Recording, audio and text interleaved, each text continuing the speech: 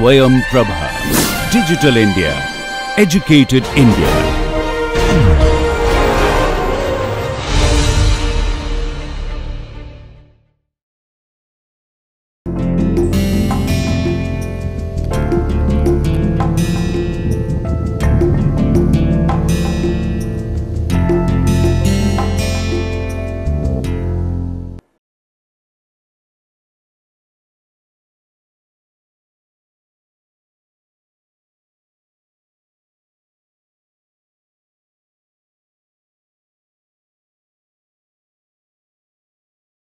So, it is about time now that we got into the details of uh, dislocations and we shall start as I told with two extremes the edge dislocation and the screw dislocation.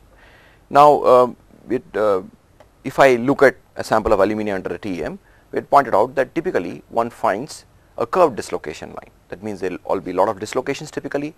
Uh, a simple sample of aluminum even if it is a well annealed sample you will find lot of dislocations uh, in a transmission electron microscope and when you if you take a deformed specimen like a deformed specimen of aluminum which has been maybe uh, deformed in any way then you will find that there are a lot more dislocations in the material. In fact, there is a structure of all these dislocation, there could be dislocation cells which form, there could be regions of high dislocation density and regions of low dislocation density as well. Uh, but essentially all these dislocations typically will be having a curved line, they will not be straight dislocations. In other words, as we shall see that these dislocations have a mixed character, they do not uh, have a pure edge or a pure screw kind of a character, but they actually have a mixed character. And in fact, if you notice that the percentage of screw and percentage of edge character and what we mean by these terms we will understand very soon by actually taking a curved dislocation change from position to position along the dislocation line.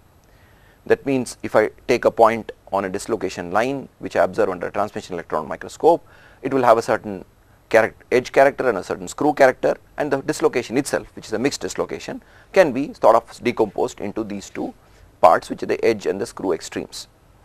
If I take another point along the same dislocation line, this percentages would change and therefore, the edge and screw character change along the dislocation line.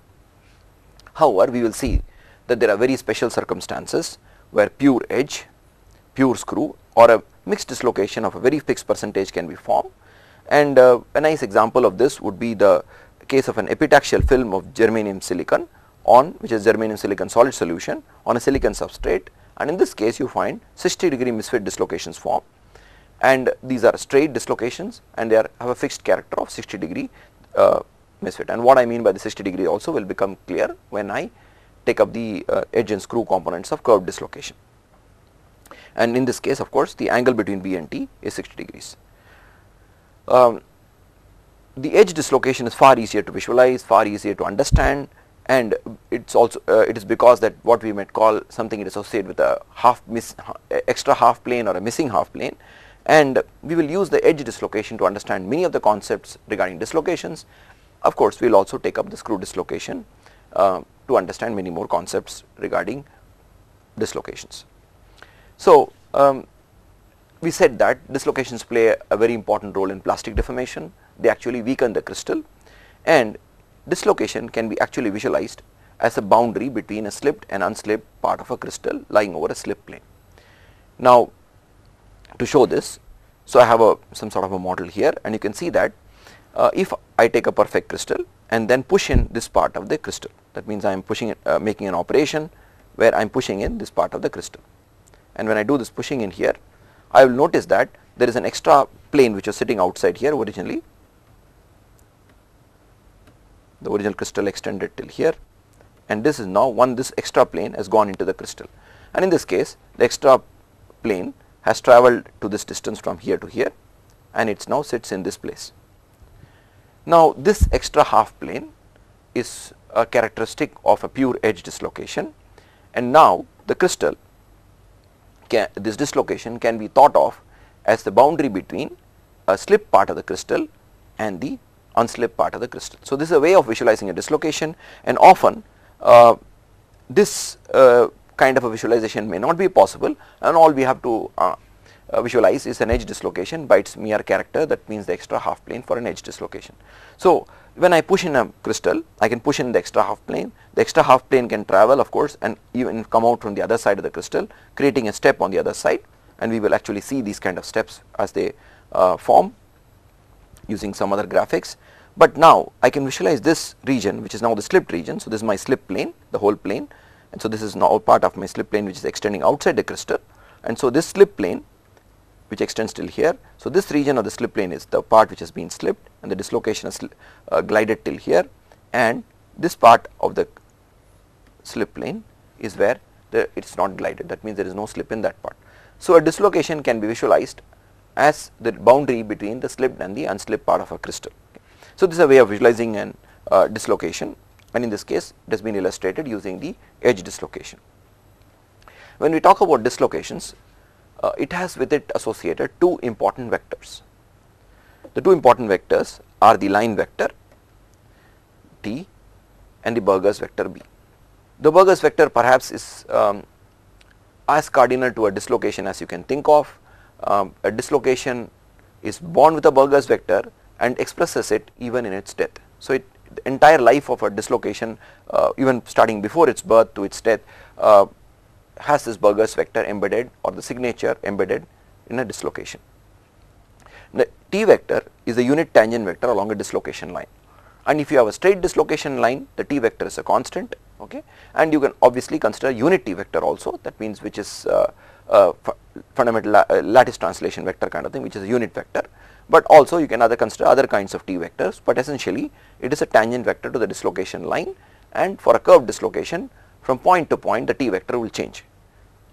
But the B vector is absolutely a crystallographic constant it will not change e either with the screw nature of the dislocation or the edge nature or the mixed percentage of the dislocation it remains a constant and it is determined crystallographically and as we shall see it is the it is the fundamental lattice translation vector for a full dislocation.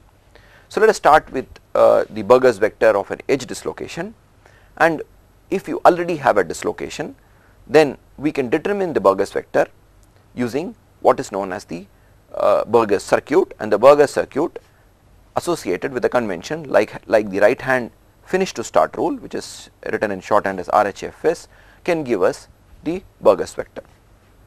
So, what we are dealing with here is an edge dislocation and we are trying to make a circuit known as the Burgers circuit to determine the Burgers vector. But please remember even if I did not have a dislocation it were a perfect crystal crystallographically I can tell what is the Burgers vector. But if I already have a dislocation then I can use the Burgers circuit to determine the Burgers vector. So, how do I uh, do this Burgers circuit along and typically I need a convention to define this and the convention has to be constant across uh, the various considerations in the problem and in this case we are using the right hand finish to start rule and I will explain what does this rule mean. So, what I do first I take a perfect crystal which is the crystal on the left you can see the crystal on the left which is a perfect crystal and I make a circuit that means I start from a point which is marked here start and I take 8 atomic steps to the right. So, it is 1, 2, 3, 4, 5, 6, 7, 8 atomic steps to the right. This is an arbitrary number I can choose any number of steps uh, it could be 8, it could be 10, it could be 40 but I just choose some number of steps to the right. Then I go down 7 steps and this again is an arbitrary number. So, 1, 2, 3, 4, 5, 6, 7 steps downwards then I take 8 steps to the left again and take 7 steps up. So, un not unexpectedly very obviously we land up exactly where we started off with. So, I land up where I started off with. In other words a circuit like this closes on itself in a perfect crystal as expected. Now of course I could have taken a more uh, what you might call a more arbitrary kind of path instead of taking a square path for instance I could have started here and I could have gone down instead of going up here I could have gone down like this, gone like this, gone like this, gone like this, maybe even gone up and so forth. But it is always simpler to take a nice uh, rectangular path the way it has been shown here in the figure. Now what I do? I do the same circuit in the crystal with an edge dislocation. Now you can see that you got an edge dislocation here and as I pointed out the edge dislocation is associated with a half plane. So this is my edge dislocation it is a dislocated crystal on the right hand side.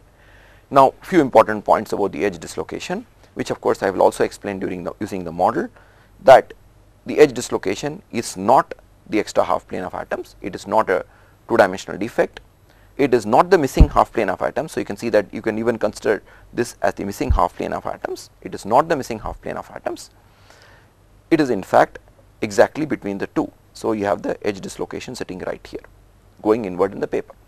So, this is a two dimensional section of a three dimensional crystal which goes into the plane of the slide. So, we will have a little more to say about the um, uh, edge dislocation with a model in hand, but now let us do the Burger circuit. So, when I, st I start as usual from a particular atom around the dislocation and I stay far away from the dislocation line which is here. So, this is my dislocation line, I stay a little far away from the dislocation line. And now I construct 7, 8 steps to the right, 7 steps downward. So, 1, 2, 3, 4, 5, 6, 7, 8, then down 7, 1, 2, 3, 4, 5, 6, 7. I go 8 left and come back. And not uh, as obvious you will not land up exactly where you started with. And that is because now you have an extra half plane of atoms. And that extra half plane is accounted for this mismatch. So, I have constructed what you might call a right handed circuit. I could equally well construct a left handed circuit, but I am sticking now to the right hand finish to start rule. So, I construct a right handed circuit and at the end of the circuit I find that my finish point and the start point do not coincide with each other. And now I use a rule which is the finish to start rule that means I draw a vector connecting the finish point to the start point and that vector is the Burgers vector. Now uh, this Burgers vector now which is typically written in symbol as a B with a ve vector cap on top or a bold B. So, is the Burgers vector and the modulus of the Burgers vector gives the value of the this vector. Now, um, it is clear that this is a lattice translation vector, it connects one point in the lattice to another point in the lattice and therefore, this is an important vector which is associated with the dislocation. Now, let me summarize this slide before we take up the model and try to understand the edge dislocation. So, first I, I take a perfect crystal, I make a circuit, the circuit could be very arbitrary, but typically I choose a rectangular circuit and I make the circuit in a right handed fashion that means I go clockwise in this case. Then I take the same circuit and put it in a perfect crystal making sure that the uh, defected region that is my dislocation is included within the circuit and I stay my circuit is far away from the core of the dislocation and this being the region of the dislocation very I do not stay very close to it. Then I find that this right handed circuit leaves a small gap. I draw a vector connecting the finish point to the start point and this is what is my Burgers vector. Now let me try to understand this edge dislocation a little more. Uh, so as I pointed out the edge dislocation is not the extra half plane. So this extra half plane is not the edge dislocation neither is it the missing half plane. It is in fact the region the line exactly between the missing and the extra half planes which is what has been marked here okay. Now important point to note if I go far away from the dislocation line the regions of the crystal suppose I have here in this case of course I have not gone really far away but if I really could go really far away the regions of the crystal far away from the dislocation line either on the upper side or on the lower side are perfect. So this is a perfect region of a crystal. So you can see you can measure the lattice parameters they will be as close to the farther you go the more perfect the crystal would get. And, and similarly the regions far away at the bottom side of the uh, slip plane as we call them the plane of the where I my dislocation lies is also perfect. Now a few uh, few points to be noted even here is the fact that if I have an edge dislocation sitting here you will see that the displacement fields and stress fields to which we will of course come later are long range fields in other words even if I go uh, little far away there will be small disturbances to the crystal but as long as these disturbances are small compared with the Burgers vector I treat them as 0 and therefore I can treat that region of the crystal as a perfect crystal. So what I will do now I will take up the model and explain you some of these things. So I have here a model now which is made of straws and you can see that in this model there is now an extra half plane of atoms which has been introduced. So, this is my plane of atoms. So, let me take up. So, this is my extra half plane which has been introduced. If you look at the crystal below, you can think of this region as an missing half plane as well. And this region of the dislocation which has been marked in blue, you can see here blue is the region which is highly distorted. That means the bonds in this region are highly distorted and the crystal is highly distorted. This is the region wherein the stress fields and strain fields are very large. Now, another thing which you would notice is that the region here is also a region where there is some extra free volume.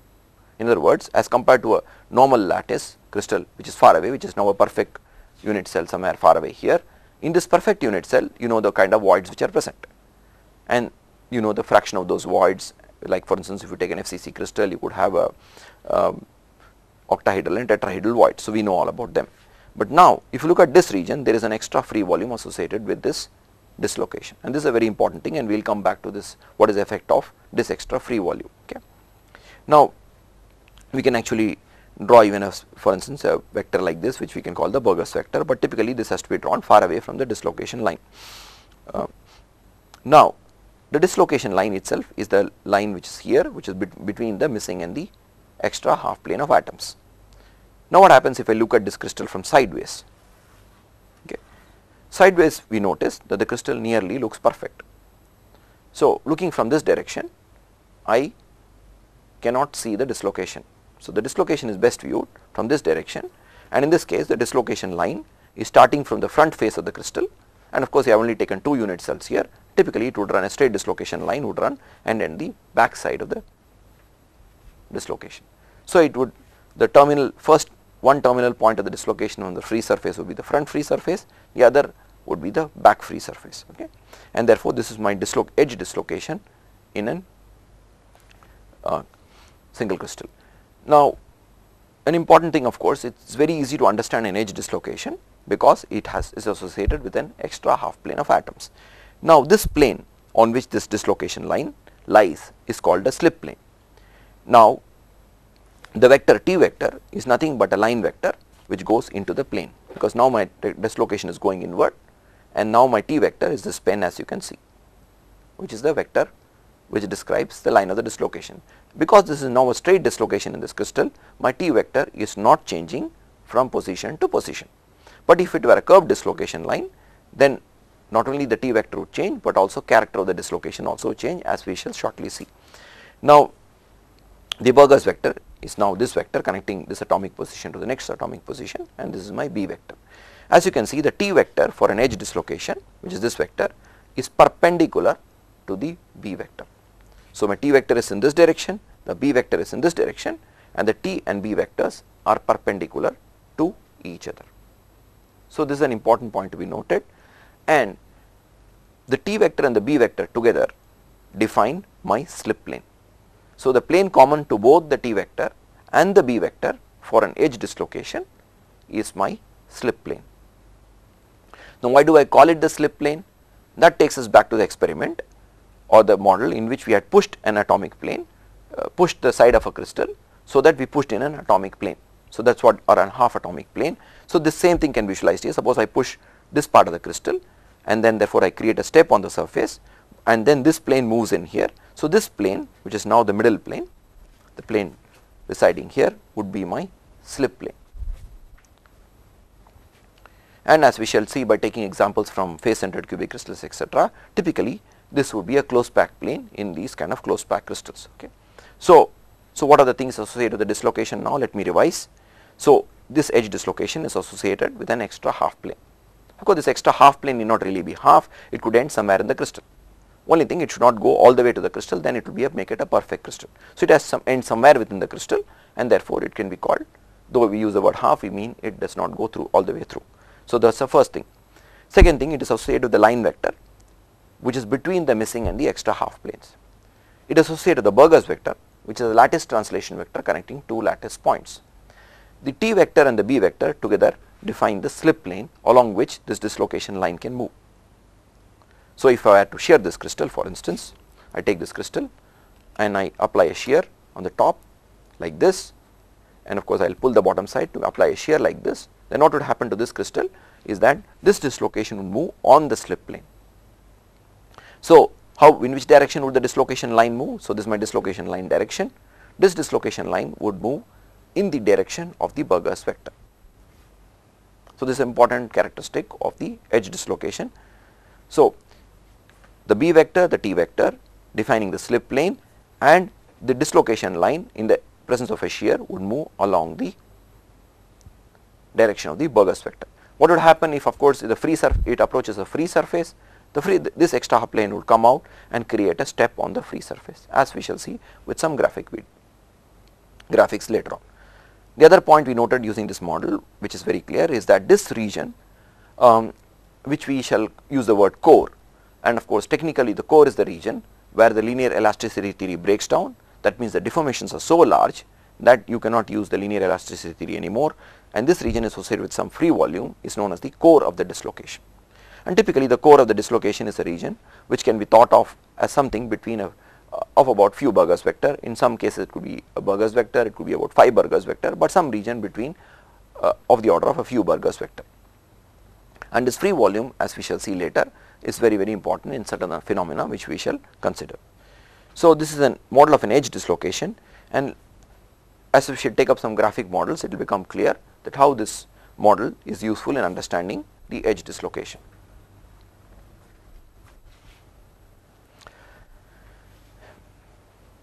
So, going back to the uh, two dimensional graphic model.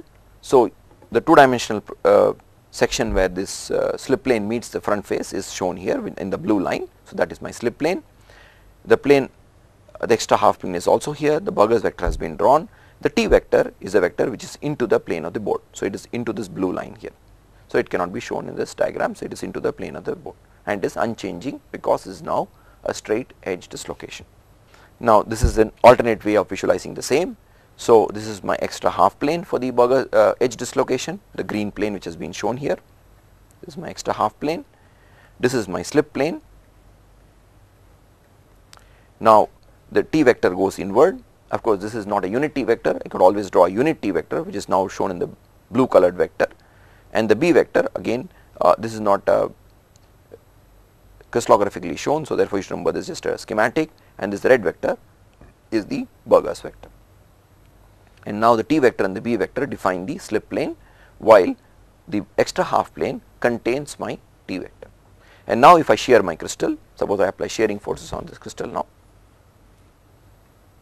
this extra half plane would move parallel to B and at a certain time it this extra the dislocation line could land up here and finally of course leave the crystal. So, since this uh, edge dislocation is associated with this slip uh, extra half plane it is easy to visualize an edge dislocation and many of the characteristics of this uh, edge dislocation can be understood based on this kind of a construction.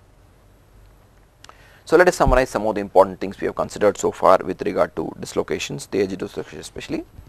A dislocation can be thought of as the boundary between the slipped and the unslipped parts of a crystal lying over the slip plane. So, um, again as I told you this is just a way of visualizing the edge dislocation and often it may, if a dislocation exists in a crystal it may not you cannot tell which is the slip part or which is the unslipped part. So, there is a question from Mr. Ravi. Sir, uh, dislocation line, that's mean dislocation line is an imaginary concept. It is not actually physically present in the crystal somewhere. Oh, very good question. Now, um, the first question we have to ask is that why is this dislocation a line? Why is it not a region? Okay. As I pointed out whenever we were discussing the uh, uh, classification of defects based on dimensionality, that we will make some idealizations. If you look at actually the displacement field of a dislocation which we will take up soon or the stress, stress field, it is a long range field. The disturbance is not localized to that line, it is, it is felt by atoms which are even quite large, quite far away, quite a few um, even uh, atomic spacings far away from the line of the dislocation. But nevertheless, uh, this is just a visualization that that is instead of now me understanding a dislocation as the displacement field of the entire atoms around it, I localize all my visualization to a line which I call the dislocation. And uh, later on uh, perhaps we will deal a little bit about the concept of an image force there we will see that how we now not just worry about the line but we can worry about the entire configuration of atoms around this line. So definitely it is an hypothetical line but since it is a line it is a clear cut line which can be imaged in a transmission electron microscope it is as real as any other line. So the intersection of we have seen of the extra half plane of atoms the slip plane defines the dislocation line okay for this is for the edge dislocation. The direction and magnitude of slip is characterized by the Burgers vector of the dislocation. So, the Burgers vector is perhaps a very important thing whenever we talk about dislocation, its energy, its stress fields, you will always find this Burgers vector appearing uh, anything, with anything associated with the dislocation and as we shall see that it will characterize the slip associated with the dislocation. So, this is something which I told um, I mentioned before that a dislocation is born or in fact even exists before its birth with a Burgers vector and expresses it even in its death. So, this point has to be noted and therefore, we cannot forget the Burgers vector when you are talking about a dislocation. The Burgers vector as we saw can be determined using the Burgers circuit and we typically use the right hand finish to start convention for determining the Burgers vector. So, this aspect we have seen already. Now, the periodic force field of a crystal requires atom to move from one equilibrium position to the other. This implies automatically that the Burgers vector must connect one lattice position to the other. Of course, we are talking about for this for a full dislocation and later on we will be talking about something known as the partial dislocation also. And later on we will also see that since the energy of a dislocation goes as the square of the modulus of the Burgers vector, the dislocations tend to have as small a Burgers vector as possible. So, this is something which obviously there you, you have the smallest lattice translation vector, you could have larger translation lattice translation vectors, but you the dislocation will always choose the smallest lattice translation vector. And another important point which perhaps we will return to later is the fact that dislocations are non-equilibrium defects and would leave the crystal if given an opportunity. So, if you take a if you take a sample of aluminum and I cold work it then typically the dislocation density can go up to say 10 power 12 meter per meter cube.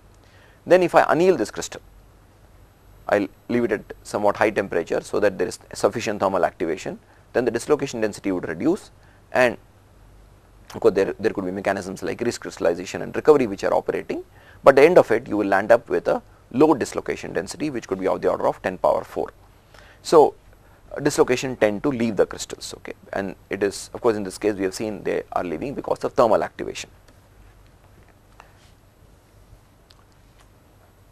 Now let us next consider uh, the more complicated or, or, let us say the more difficult to visualize form of a dislocation which is the screw dislocation.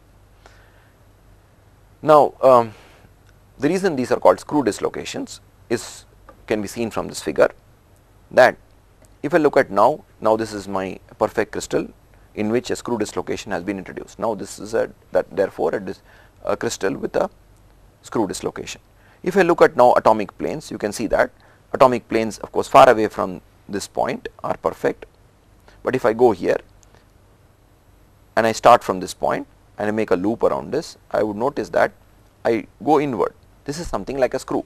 So, I, if I keep on traversing, I will keep going around inward as I travel along these kind of paths. So, um, again I, of course, I have models to explain how a screw dislocation works, but from this figure it is clear that like before what I could do is that I could make a cut on the crystal, I take a perfect crystal, make a cut. So, this is my plane which I make a cut. I do not cut the crystal fully, I cut it only to a somewhere in between to this point say P. And then I take the upper part of the crystal and shear it with respect to the lower part. That means I push one part this side and push another part and I make sure of course that these atomic positions land up on top of the other atomic positions. Okay. Therefore, now what I have got is a screw dislocation. So, if you look at a region far away from this dislocation line, it is perfect.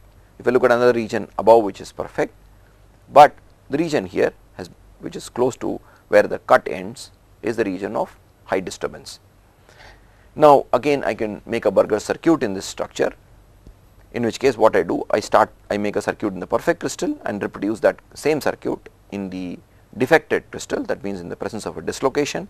So for instance in this case I have made a circuit which is the right handed circuit I start from this point here start say 1, 2, 3, 4, 5, 6 I go down then I go 1, 2, 3, 4, 5, 6, 7, 8, 9, 10, 11, 12. Then I go 6 back, uh, 12. Then of course I came back 1, 2, 3, 4, 5, 6, 7, 8, 9, 10, 11, 12. And then I do the same thing to the right hand side, come back. And not unexpectedly, I don't land up in the same place. And using the finish to start rule in the using a right handed circuit this is now my Burgers vector. So, how did I, uh, so let me repeat the process, how did I make my dislocation? I took a perfect crystal, I cut along this blue kind of a plane, so the assuming that the whole plane goes inward, I cut this blue plane, then shear one part of the crystal with respect to the other and of course join this to the next plane of atoms. Originally this row of atoms here were stuck to this row of atoms here, but now I move and join them to the next parallel row of atoms and therefore I get a uh, after joining now I get a sheared crystal and this is now my dislocation line. So, far away from the dislocation line everything is perfect, but here there are large shear stresses close to again what I can call the core of the dislocation. Now, uh, let me explain the same uh, using a, uh, a, model so that this, uh, these concepts become clear, but now uh, in this defected crystal I can make a Burgers circuit as before and now using the right hand finish to start I can determine the Burgers vector. An important point to be noted straight away is that the dislocation line which is now of course going inward into the crystal from this point onwards is now parallel to the Burgers vector. In other words in this case the line vector which is the t vector is parallel to the Burgers vector. Okay, so let me use a model to explain the concept of a screw dislocation. So, here I have a screw dislocation and the way of course uh, it has been constructed is as, as I mentioned before and here the red line is the line of the screw dislocation. So, let me keep the crystal like this for you to understand this. So, this part of the crystal for instance originally this plane of atoms which is coming from here originally would have been stuck to this point. So, this point originally would have been stuck to this point, this point would have been stuck to this point, this point would have been stuck to this point. So, what I did I took a shear here I made a cut in this crystal here moved this plane of atoms from here to this next and joined them. So, you can see if I look at my this region of crystal which is far away it is perfect. If I look at my this region of crystal it is perfect unit cells are perfect, but here somewhere here is region which is highly distorted the bonds are highly distorted. Originally these atoms would want to join for instance this atoms this bond would have liked to join with this atom for instance it would have joined here this bond downward should have gone here, but is now joined shifted therefore, there is a distortion. So, there is a high distortion of bonds around this place which is costing energy to the crystal. Now, my dislocation line is this red line which I can shift a little bit and show you. So, this is my red line here which is the dislocation line and this is my Burgers vector which is B which is also here. So, this point joining this point can be thought of as the Burgers vector and therefore, this Burgers vector is parallel to this dislocation line. So, if I look at my crystal again you can see that these planes are bent. They are sheared. So, this this is the shearing direction. Of course is this that means I have taken this and pushed my crystal in this direction towards me.